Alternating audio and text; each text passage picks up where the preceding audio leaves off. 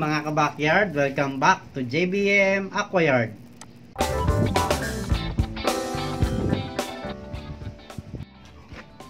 Magandang umaga mga kabakyard. Unang-una sa lahat, nais ko munang pasalamatan yung mga nag-comment at nag-ID nitong halaman ko na to kasi matagal na talaga to sa akin. Simula nung kinuha namin sa bundok, hindi ko pa alam ang pangalan niya.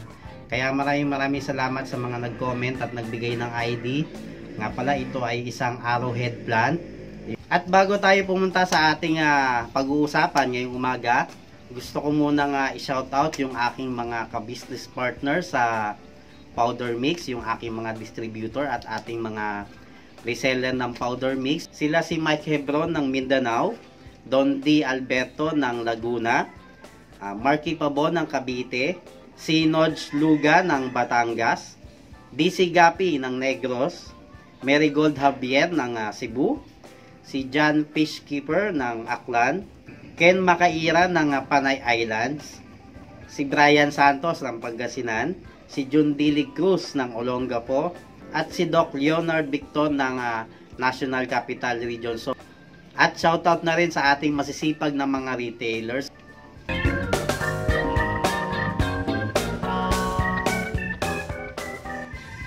At yun na nga, ang pag-uusapan natin ay kung paano bang epekto ng uh, araw sa ating mga alagang isda. Since ngayon ay malapit na mag-summer talagang papainit na ng papainit at kailangan nating i-discuss ito habang hindi pa masyadong umiinit dahil talagang napakadelikado ng direct sunlight sa ating mga alagang isda. Kasi pagka talagang naarawan directly yung ating mga tanks, yung mga dumi ng ating mga alagang isda, lumulutang yan, nagiging magaan sila dahil nagiging mainit yung tubig. Kaya naman yung mga dumi na yun, nandun nakatira yung mga ammonia. Kaya pag lumutang yon, syempre lulutang din yung ammonia. Pagka lumutang yung ammonia, makukuha ng mga isda natin yun, doon na sila mamamatay. Kaya napaka-importante na yung ating mga grow outs, yung ating mga aquarium, at yung ating mga breeding tank, kailangan yan, meron tayong takip dyan. Kung nasa part siya na talagang direct sunlight, kailangan uh, mag-provide tayo ng takip sa kanila dahil pagka hindi natin yung ginawa, masasayang yung ating mga alagang isda. Possible na mamatay sila or possible na magkasakit sila. But of course, ang mga isda ay kailangan din nila ng araw. Hindi naman pwede na wala silang araw. Kaya ang ginagawa ko tuwing umaga, uh, alas 8 hanggang alas 10, itong takip ng aking trapal dito, yung draw out ko ng trapal dito, inaalis ko muna yan, sinasabit ko muna yung takip niyan para at least sa umaga, nakaka-receive sila ng sunlight. Then pagka matindi na yung sikat ng araw, ang ginagawa ko, binabalik ko na yung takip para hindi talaga sila totally na makasagap ng matinding sikat ng araw kasi napakadelikado talaga ng matinding sikat ng araw sa ating mga alagang isda. Gaya naman dito sa aking mga aquariums, kung makikita nyo, talagang nagigreen na sila kasi yung iba rito talagang nasisinagan pa rin ng araw pero hindi naman na direct sunlight pero kita nyo naman kahit hindi yan direct sunlight talagang yung makikita nyo yung tubig para siyang malabo na kulay green. And then mapapansin nyo naman kung nakanood kayo nung latest ko na video about dun sa mga nabili ko mga bagong grow out tub. Ito sila ngayon, nakasetup na sila. Kung makikita nyo, ilang araw pa lang, medyo green na yung tubig.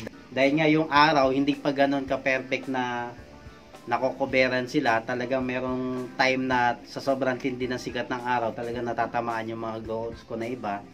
Kaya kung mapapansin nyo yung tubig, medyo talagang green na siya pero sa ganyang kalagayan okay pa yan kasi hindi naman talaga direct sunlight yung nare-receive nila gagawin ko papalitan ko na rin ng tubig to at least uh, ah, 50% para maging malinis yung tubig at para ma-maintain ko yung magandang quality ng tubig.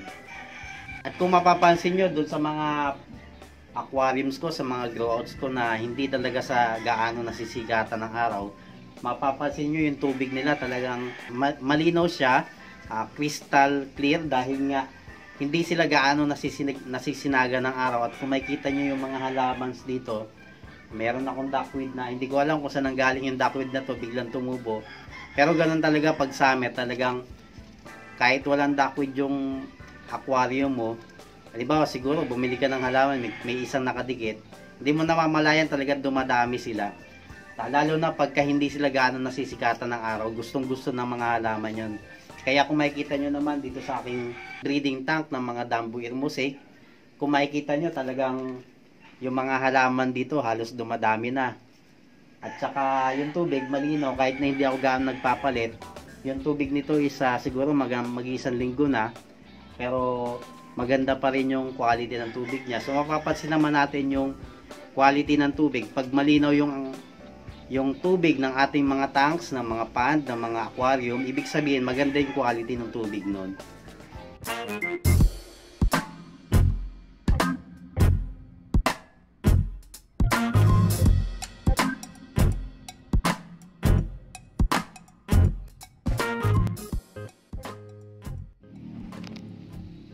Ito yung isang example na pagka naging direct yung uh, tama ng araw sa ating mga pan, sa ating mga tank, sa mga aquarium. Makikita nyo yung iba rito, mga dumi nila, lumulutang na, palutang pa lang. Kasi tinanggal ko yung takip, ito yung takip niya, naarawan sila. Ilang oras pa lang na naarawan sila, talagang makikita nyo yung mga dumi, umaangat na kaagad. Pero pag binalik ko yung takip nito, magiging stable na ulit yung kondisyon ng tubig dito. Yung mga dumi nito, bababa na kaagad dyan. So, pinaparawan ko sila para kahit papano makakuha sila ng vitamin sa araw. Then, pagka medyo ma matindi na yung sikat ng araw, binabalik ko na itong cover na to.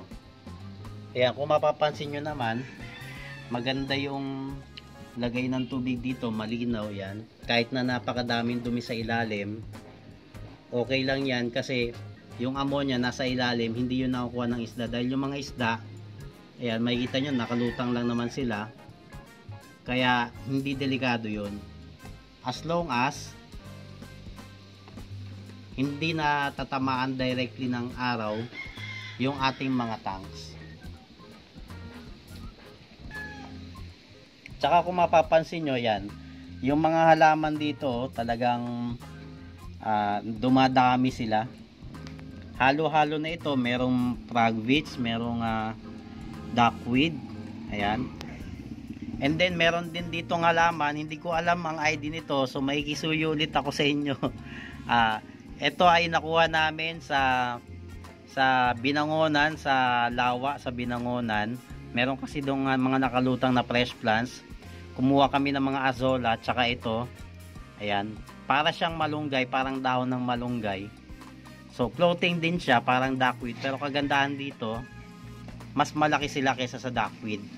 Kaya hindi gaano uh, pangit siya tignan sa ating mga aquariums. Unlike dito sa duckweed kasi ayan pagka hinuli nyo ng net sumasama yung duckweed parang nagiging messy yung mga tanks natin. Although maganda naman talaga ang halaman sa mga aquarium, sa mga tanks. Kaya hinahayaan ko na lang na dumami yung mga duckweed dito tsaka yung mga hindi ko alam kung ano kasi ang ID ng isa nito. Kaya hindi ko masabi kung anong halaman ito.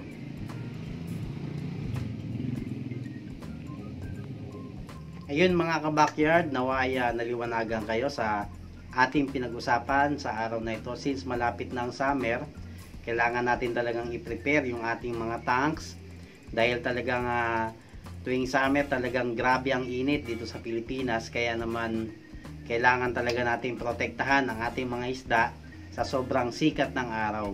Ayun, maraming maraming salamat sa panonood at uh, nawa ay may nakuha kayong aral sa ating mga pinag-usapan ngayon.